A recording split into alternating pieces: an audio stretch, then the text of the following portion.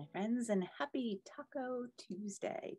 And a big shout out to Angel and thanking Angel for inviting me in on this Taco Tuesday. And if you don't know who I am, my name is Jennifer Kupcho. My friends call me Jen, and I am a spiritual mindset coach, mentor, teacher.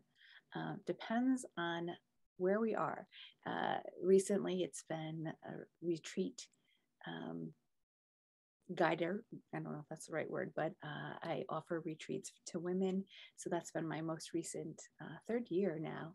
And that's what I'm here to share about, not about the retreat, but about uh, what has happened in some of these retreats that are was unplanned. And that's a beautiful thing, right? When we go into something with excitement and and prep, preparation. So it's not like I've gone in unprepped but when you open to the guidance that you receive, it is just amazing.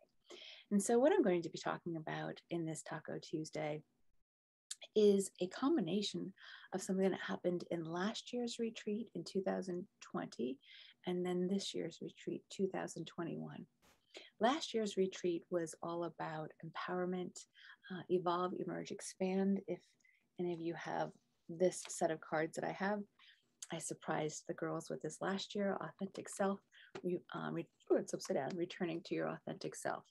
And they were powerful. And there's a lot of goddess energy and um, archangels and ascended masters all coming through in that set of divination cards. This year, it was all about the world needs you the world needs me actually so if you don't know the story this is what happened at the end of last year's retreat we were closing and i always have a plan and we go around and talk but this part was unplanned and when it got to me, it was sharing about an intention that we planned on leaving retreat with. And I said, I'm no longer going to play small. And I said, I, will allow myself to be seen authentically. And I said, because the world needs me. Now, that was not planned to say that. And when I said it, I got choked up. It, you know, when you get choked up in your throat, and I was like, Ooh, and I kind of got teary eyed. And all the girls were fabulous in the circle. Like, of course the world needs you. I'm like, why was that so hard? And so I said it a second time, and it was still a little bit of a little bit of a challenge.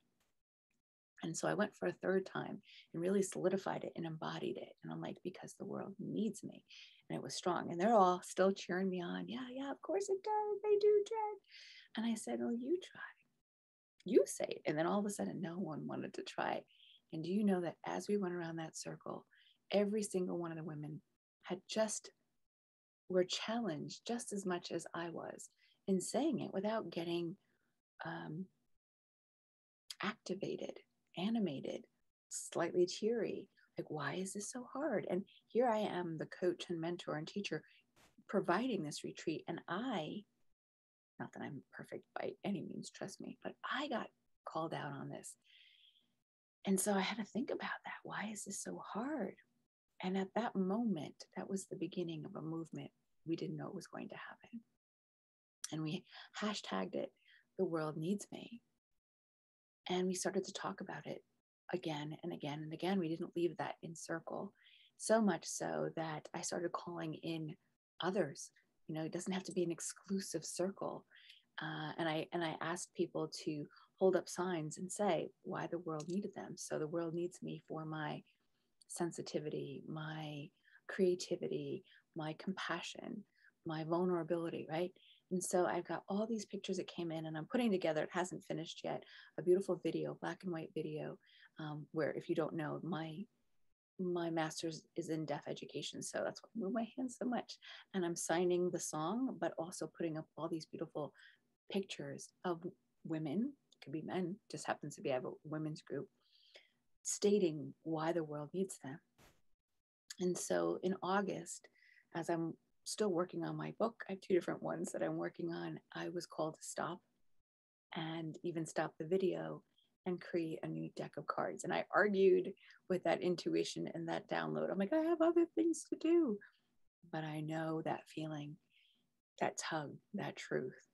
And so I stopped and out from the collective, from me, this is hard to see because I have my green screen on actually behind me, is the Outlier Collective, the world needs me. And there are 44 cards in here. I'm going to try to hold it up this way 44 cards stating all the beautiful intentions that were sent to me for the video. There are messages like, the world needs my sparkle. I can see some of the women right now as I'm reading these. The world needs my fun. The world needs my patience. Little clocks in there. The world needs my story. Yeah, we need your story. The world needs my uniqueness. Uh, this is the backside if you didn't see that. The world needs my perspective. I love this one, like looking up. And as, oh, the world needs my imperfections. Mm-hmm.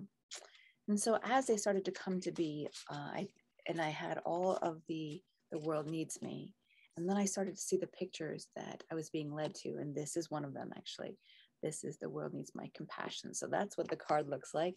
And how fun that I can use a green screen, right? And be in my card. And here's a beautiful portal. And there's a light source. There's, you can see it blown up.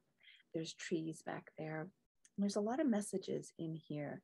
This empty seat holding space for someone, this beautiful light, right? This changing, um, old fashioned, uh, changing screen, right? So, why am I bringing this to you? It's not just about there's cards out there, right? You can sit and you can create your own cards. These particular cards, when they came out, I have a daughter in college right now, and she's giving me the perspective of what a lot of the kids are going through right now in school some of them left at almost 16 because of pandemic and did not return until they're in college. That's a long time, right?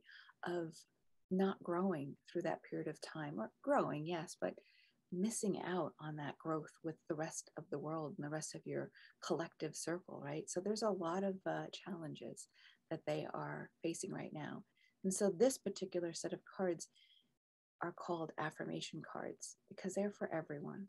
They are for any gender, they are for any age, because it's a reminder of how much right now the world needs you.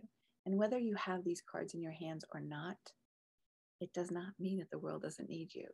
Make a list. Start writing out all the reasons why the world needs you. Because your shift shifts everything. It's a domino effect your shift of perception, of mindset shifts all the people around you, right? How you come into a situation. So these are very, very powerful. Um, this is the first time I will tell you that there is actually a journal workbook that goes with it. I'm going to shift this around a little bit so that it's in alphabetical order. The girls in retreat have been they're committed to 44 days of choosing a card and then going to that particular uh, card in the workbook. So here's imperfections, right? The world needs my imperfections. And under that comes a channeled message. Today I will see myself as perfectly imperfect. I will remember that perfection is another form of fear. My imperfections make me relatable. And then the question underneath is what action will I take today to share my imperfections with the world? So it's a great, like, five minute start to your day. And this, I believe, what I'm going to be doing is um, to make it the most attainable is do a PDF. So uh, this way people can print it out more than once, use it more than once, share it with someone if you like. So that's what this is all about. The world needs us. The world absolutely needs our strength, our compassion. Let me tell you, take some courage to live a life of compassion because it's really easy to judge and to point fingers. It makes life easy when we can categorize good, bad, like me, not like me, right? But that's the shift that we need to get out of. So, to live a compassionate, there's my card, life takes a bit of courage, but I know we're up for it. So, thank you, Angel, for letting me share this unbelievable experience. And this is how the best laid plans um, you don't need, right? You prep, you, you plan, but then you stay open without a tie to the expectation of how it's going to turn out. I could never have ever have seen foreseen this expectation, this end result, not expectation, this end result, and it's pretty dang fabulous. So thank you for all the um, people who have sent me pictures that have become part of this collective set of affirmations. if you have them or you're going to get them in your hands, I'm so excited for you. If that's not for you, write out write write out your own affirmations. Write out your own reasons why the world needs you because we do. Have a great Tuesday.